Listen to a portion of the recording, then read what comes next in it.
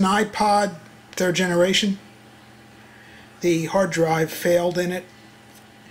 And I found that uh, you can easily, this is the hard drive that failed.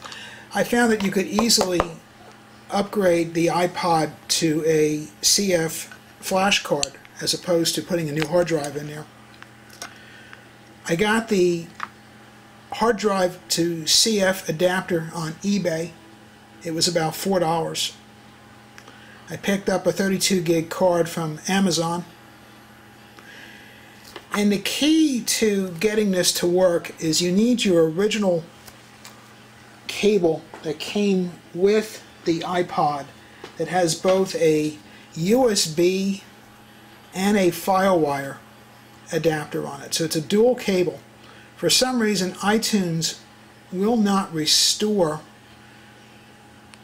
the code on the flash drive unless you have this cable. So if you just try to restore it using the FireWire cable, it won't restore. If you try restoring it using the USB cable, it won't restore. So you need to power your iPod with the original FireWire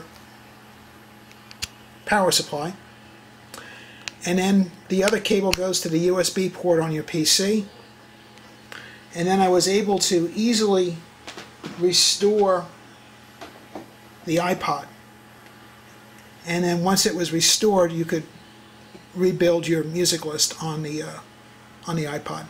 This was originally a 30 gig model, so now it has 32 gig. Not much of a space improvement, but it's nice because it it's in my car permanently, so I don't have to worry about uh, upsetting the hard drive anymore.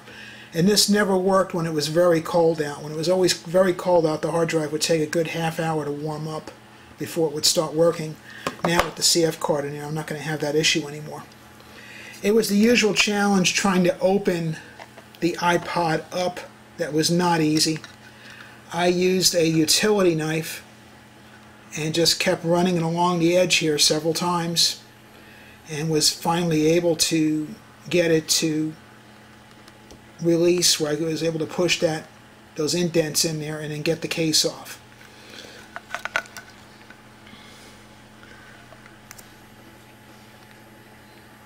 The adapter on eBay is called CF to iPod IDE adapter Toshiba hard drive SSD 3L. It came from Hong Kong. It took about three weeks to get here and it was about four bucks.